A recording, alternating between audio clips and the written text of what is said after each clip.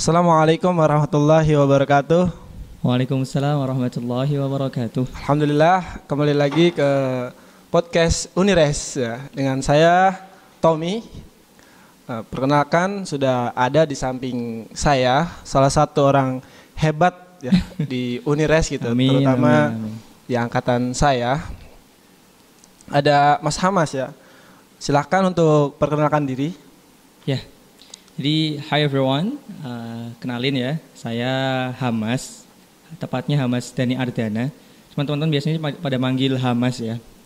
Nah, terus ya saya di sini bisa dibilang mantan sih, mantan dari pemegang maksudnya pemegang jabatan ya, koordinator dari yang namanya divisi bahasa. Nah, mungkin eh, kalau di podcast ini sih ya nggak banyak ya yang bisa saya sampaikan. Mungkin berdasarkan pengalaman maupun apa yang sudah saya lalui di satu tahun ke belakang mungkin seperti itu. Oke, jadi Mas Hamas ini salah satu sahabat saya ya.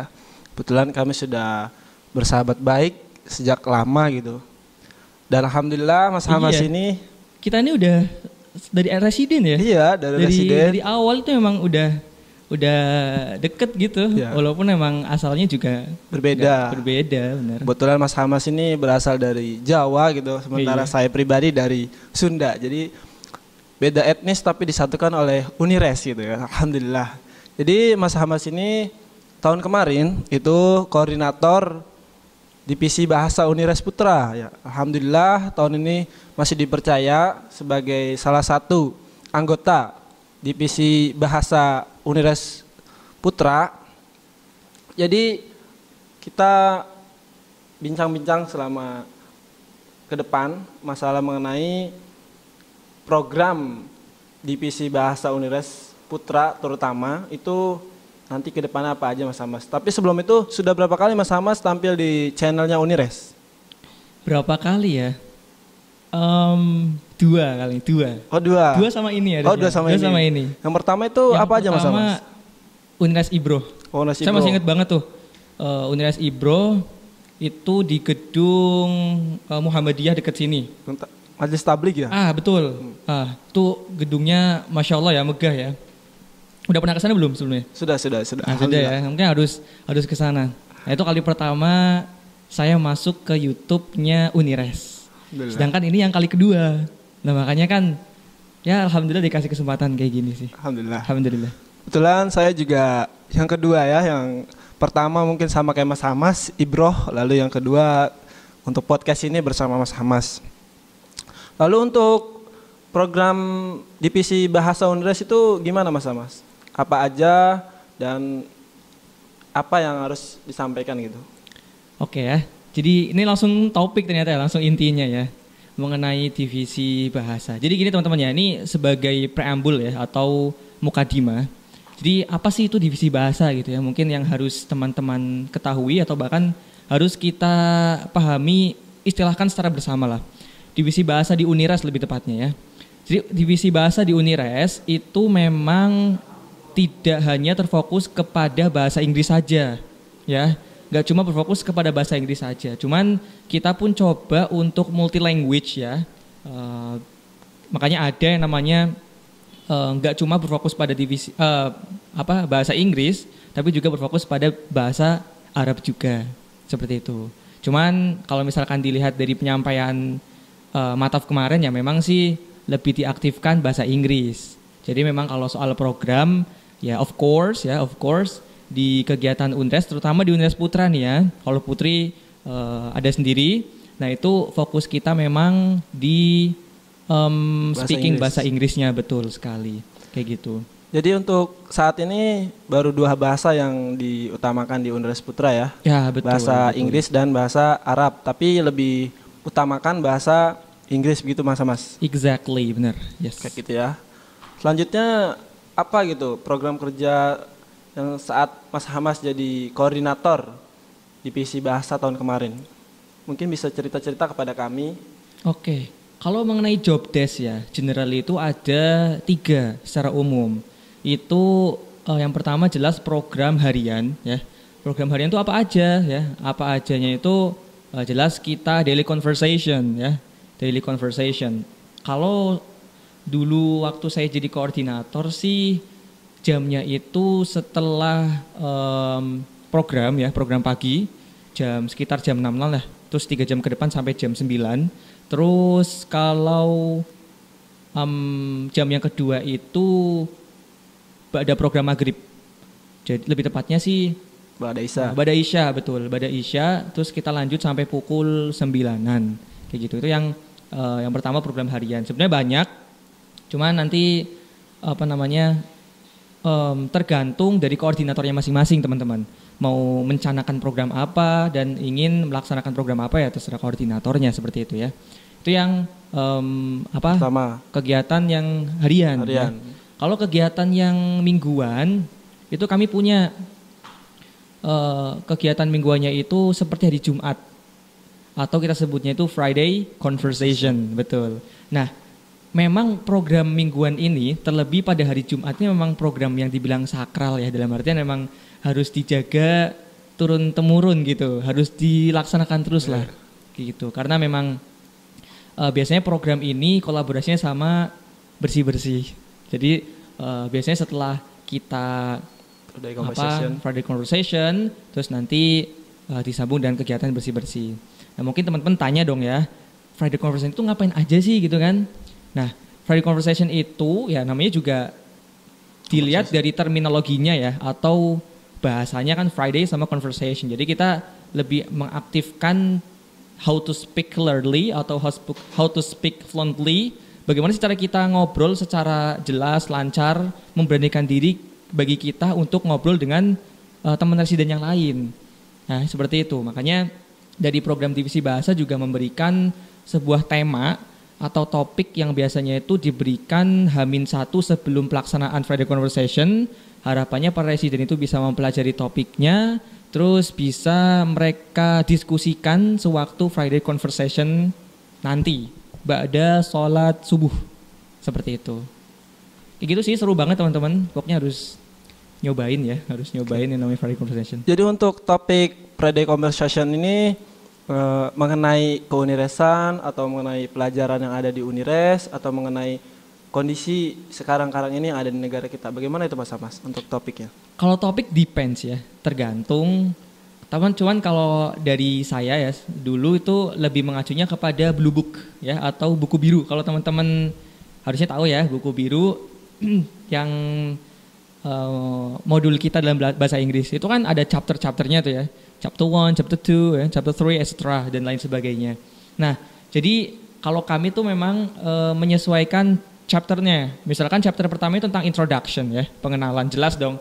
Yang namanya kita mahasiswa baru nih ya, masuk resi, masuk ke Unires, residen baru, ya jelas kita butuh namanya perkenalan, introduction. ya introduction. Makanya uh, biasanya itu memang hal yang wajib ya ditaruh di awal.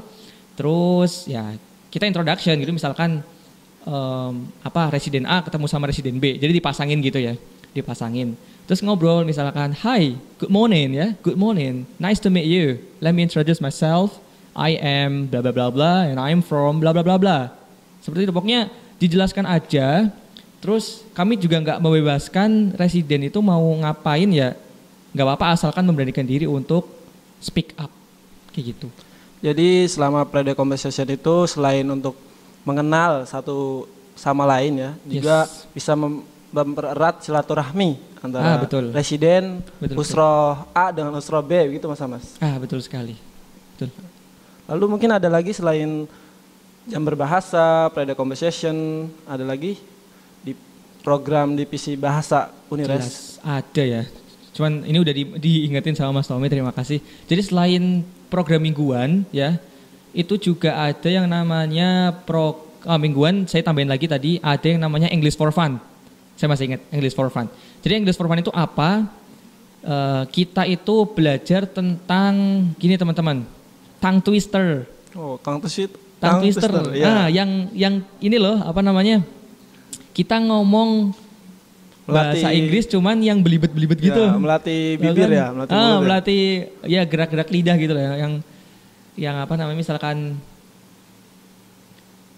contohnya ada mungkin ya di buku biru mungkin teman-teman bisa cermati lagi Eh, mungkin kalau tang twister ini memang unik, unik agenda yang unik. Jadi sistemnya itu nanti biasa ya habis habis isya biasanya itu habis salat isya terus kita dikumpulin dikumpulin. Eh tahu-tahu ada divisi bahasa maju ke podium kan. Kasih tahu kalau kita ada kegiatan English for fun terus kita jelasin tentang apa eh, tang twisternya apa terus kita sama-sama ulang ya. Terus biasanya kalau eh, apa namanya kalau ada sisa waktu ya nanti kita suruh residen buat maju terus bacain ke teman-temannya gitu. Kalau tongue twister bahasa Inggris gitu, selain bahasa Inggris apakah ada tongue twister bahasa lain, semisal bahasa Arab atau bahasa-bahasa yang lain gitu mas Mas? Oke, kalau dulu memang sempat diada diadain ya, diadain yang namanya tongue twister versi Arab gitu kan. Ada, terus eh, sepertinya memang agak sulit juga memang kalau diaplikasikan karena eh, bahasa Arab ini kan memang kalau di kami itu sedikit pasif ya, pasif. Jadi memang lebih diutamakan sih kita belajar Bahasa apa? Inggris. Iya, maksudnya eh, istilahnya apa tuh yang kosakata atau bahasa Inggris? Oke, Iya, kalau bahasa Arabnya mufradat. ya. Nah, itu kita fokus itunya harusnya. Jadi eh, sarannya sih memang nggak langsung ke tang twister, cuman kita belajar mengenai kosakata cuma dalam bahasa Arab. Arab. dulu gitu, biar lebih efektif. Cuman eh, kalau tahun sekarang ya memang eh, ada rencana untuk mengaktifkan kembali program eh, kemampuan berbicara bahasa Arab kayak gitu sih. Oke mas Mas. Jadi selain selain apa tadi? Tongue twister ya. Oke, Lalu twister. ada apa lagi mas Mas? Itu program mingguan ya teman-teman ya, program mingguan. Nah kita coba move ke program yang namanya program bulanan. Iya. Nah, jadi program bulanan ini ada, kalau dulu ya budaya dulu itu ada yang namanya English Cafe. Apa English itu? Cafe. Oke mungkin tertarik ya, ada karena ada kata-kata kafenya gitu kan. Kita nongkrong gitu, minum kopi enggak sebetulnya, bukan kayak gitu. Pendefinisiannya bukan kayak gitu. Jadi English Cafe ini em, kita mengadakan sebuah event ya atau acara yang entah itu di musola, entah itu pokoknya di lingkungan Unires ini masih di lingkungan Unires. Nah, kita itu eh, ngadain beberapa agenda di sana. Bisa ya kita nonton short movie ya, kita bisa nonton eh, short movie ya, bukan movie karena movie itu biasanya kan eh, berjam-jam. Jadi waktunya tuh eh, kurang efisien gitu kita nonton short movie, terus setelah kita nonton, kita ajak residen itu untuk speak up, ngobrol tentang video yang baru saja ditayangin. Ya bisa menceritakan kembali atau bahkan bisa menceritakan moral value ya, nilai pesan-pesan moral yang disampaikan short movie tersebut ya. Atau bahkan selain nonton short movie, kita biasanya main games.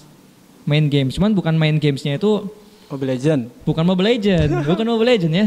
Kita main gamesnya itu ada yang namanya Scrabble. Ya, jadi kayak menyusun kata gitu loh, menyusun kosakata bahasa Inggris gitu ya. Nah, cuman ada program baru nih yang saya dengar-dengar dari koordinator sekarang ya, Iya. koordinator baru sekarang. Apa itu mas Mas? Programnya itu tahu ini eh, game yang di TV tuh yang nebak. Ya, ya betul betul. Oh, Ed Bulaga ya? Iya, iya. Nah itu Betul, betul. bener. Katanya bakal dicanangin. Bakal dicanangin, ya, kayaknya sih bakal pecah sih ya. Iya. Bakal pecah. Nanti residen suruh, mungkin ada yang eh, dipakai sini kan tulisan gitu. Ah. Terus yang di depannya suruh nebak gitu kan. Misalkan semangka gitu kan, watermelon gitu. Ya, yes, yes, yes, no, no, no, no gitu. Mungkin Jadi seru ya, pecah seru gitu. sih, bakal seru kayak gitu. Gila. Mungkin dari program harian, mingguan dan bulanan cukup mas Mas? Sebetulnya masih banyak. Banyak ya? Masih banyak. Karena Em, contoh kalau misalkan bulanan itu ada yang namanya ini ya em, buku. Jadi maksudnya bukan bulanan juga.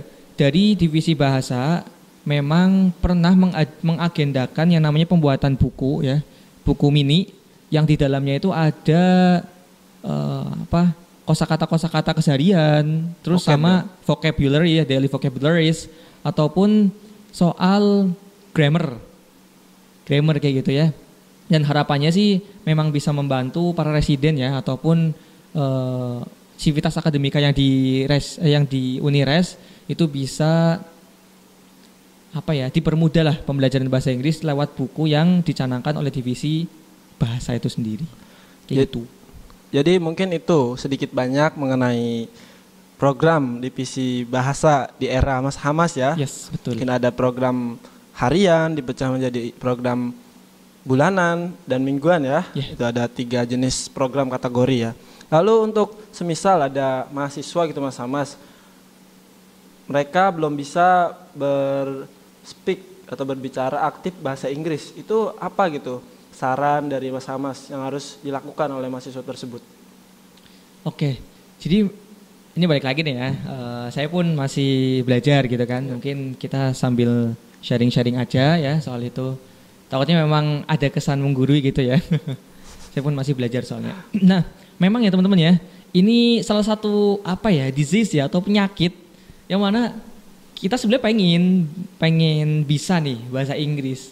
Tapi lisan ini tuh tidak mau apa ya belajar berucap bahasa Inggris gitu loh, masih takut, takut dikritik orang kah, takut Salah. takut salah gitu ya. Itu benar-benar dijauhi teman-teman asli, benar-benar dijauhi karena memang ya kalau teman-teman nunda kayak gitu terus, terus umur teman-teman juga termakan ya karena cuma nggak berusaha aktif berbahasa Inggris ya percuma teman-teman. Karena terutama yang dulu di Unires ya maksudnya yang sekarang di Unires gitu. Teman-teman cobalah untuk memberanikan diri ya memberanikan diri untuk speak up bahasa Inggris ya. Walaupun memang terminologi yang umum contoh misalkan apa ya eh, lagi mau makan nih misalkan ya. Lagi mau makan. Terus eh, kita nanya ya have you taken your BFS ya? Atau haven't taken you your um, Dinner. dinner ya kan? Gitu aja nggak apa-apa gitu. Gitu aja nggak apa-apa. Kalau nggak misalkan main ke temen ya main ke kamar temen excuse me ya ketok-ketok assalamualaikum excuse me can I get in? Gitu kan can I get in? Terus misalkan nggak boleh ya berarti eh, nanti pulang ataupun Ya. boleh nanti ya thank you kan Masuk, masuk. ucapan-ucapan yang biasa itu setidaknya melatih diri kita ya karena emang ada is, apa ya ada peribahasa mungkin ya sedikit-dikit bakalan jadi bukit. Makanya Oh, teman-teman nggak perlu apa insecure ya nggak perlu insecure lah. Karena sebuah ya namanya juga Belajar. asrama ya Unires nih dikasih kesempatan buat belajar terlebih ada program-program yang setidaknya mewajibkan mengharuskan teman-teman itu untuk speak up bahasa Inggris. nggak cuma bahasa Inggris Ya. ada bahasa Arab juga kayak gitu ya Jadi intinya tuh kita berlatih lah Mas Hamas ya. betul Meskipun dalam kosakata bahasanya itu sederhana ya, dalam Yes. kosakata bahasa sehari-hari itu. Yang penting kita terbiasa berucap bahasa Inggris gitu kan. Nanti Hmm. lama kelamaan bahkan kita bakal fasih atau seperti native lah kalau misalnya itu ya. yes Penutur kayak bahasa native Inggris gitu kan. betul native speaker Lalu Kayak untuk gitu. kesan-kesan, kesan dan pesan Mas Hamas ya selama menjadi koor divisi bahasa tahun kemarin itu apa? kesan pesan ya Bahkan sampai saat ini pun Mas Hamas masih dipercaya sebagai salah satu anggota divisi bahasa ya. oke Mungkin ada nggak gitu? Eh, kesan pesan ya, to be honest ya jelas seru lah teman-teman, jelas seru. Karena apa? Kita ya tu- tugas koordinator ya jelas kan merencanakan kegiatan ke depan ya, merencanakan kegiatan, kegiatan ke depan. Jadi eh, jelas apa namanya serunya itu nanti pas kita ngadain program, terus ternyata mahasiswa atau residen yang dulunya itu nggak aktif berbahasa, ternyata jadi aktif. Walaupun emang yang tadi saya ucapin di awal, apa terminologinya itu, maksudnya kosakatanya masih eh, nggak terlalu banyak. Ya. Tapi setidaknya tuh udah berhasil mancing residen ini tuh buat aktif bahasa. Jadi emang serunya tuh di situ loh. Serunya, ya. Dan harapannya ya mudah-mudahan jadi Terus amal jariah ya, ya. gitu ya. Amin, amin, mudah-mudahan amin. jadi amal jariah yang harapannya bisa misalkan nih dari kami divisi bahasa ngajarin tentang hal-hal yang belum diketahui sama mereka. Terutama yang dalam bahasa nih, entah itu bahasa Inggris maupun bahasa Arab. Terus teman-teman residen ini sewaktu keluar ya, keluar dari Unires, itu ngajarin kerabatnya, ngajarin teman-temannya, ngajarin sanak saudaranya mungkin ya. itu kan sebagai peluangan maksudnya peluang terbesar ya buat Ya, kita Mengamalkan ilmu ya, ya. mengamalkan ilmu benar. Jadi ya serunya seperti itu teman-teman kayak gitu. Jadi banyak sekali ya kesan dan pesan Mas Hama selama menjadi koor divisi bahasa Unires ya. Yes. Mungkin ada lagi yang ingin disampaikan kepada kami Mas Hamas mengenai divisi bahasa Unires. yang perlu disampaikan. Yang perlu disampaikan ya jelas kegiatannya jangan di apa? Jangan dibatasi. Namanya juga kita sama-sama belajar, tetap aja dicanangkan lah program-program baik tahun lalu maupun program-program baru yang bakal dilaksanakan buat eh, residen-residen ke depannya. Kayak gitu karena belajar itu bisa di mana aja teman-teman ya. Belajar itu nggak melulu soal kita harus berhadapan dengan dosen, duduk di bangku kuliah, pakai pakaian rapi, duduk yang tegak, menyiapkan secari kertas dengan pulpen ya maksudnya nggak nggak melulu soal itu. Belajar itu bisa di mana aja dan kapan aja. Teman-teman apa namanya em, ngobrol sama orang lain nih ya, termasuk kita nih sharing-sharing informasi atau experience pengalaman itu pun juga menjadi salah satu referensi ya atau sumber dalam kita belajar. Makanya eh, cobalah kita eh, ubah persepsi ya. Kalau misalkan belajar itu nggak cuma di eh, bangku perkuliahan, tapi bisa kita di eh, Unires seperti ini melalui program-program yang sudah Unires berikan. Kayak gitu. Mungkin itu cukup Mas Hamas ya. Cukup, cukup. Mungkin Terima kasih Mas Hamas ya Iya, sama-sama. telah memberikan sharing atau informasi mengenai divisi bahasa Unres Putra gitu ya. Mungkin tahun lalu atau tahun depan yang akan dilaksanakan oleh kor kor baru ya. Mungkin ada lagi nanti siapa gitu kornya kan. Jadi mungkin itu ya teman-teman sedikit banyak mengenai program kerja atau kegiatan-kegiatan divisi bahasa di era Mas Hamas menjadi koordinator. Nah ya, mungkin terima kasih Mas Hamas ya Oke, telah sama-sama. memberikan informasi, sharing-sharing mengenai divisi bahasa Universitas Putra ya. Mungkin cukup dari kami ya selaku saya selaku moderator dan Mas Hamas selaku narasumber pada podcast Unires kali ini. Mungkin kami undur diri. Mohon maaf banyak kesalahan. Kami akhiri wassalamualaikum warahmatullahi wabarakatuh. Waalaikumsalam warahmatullahi wabarakatuh. Terima kasih ya.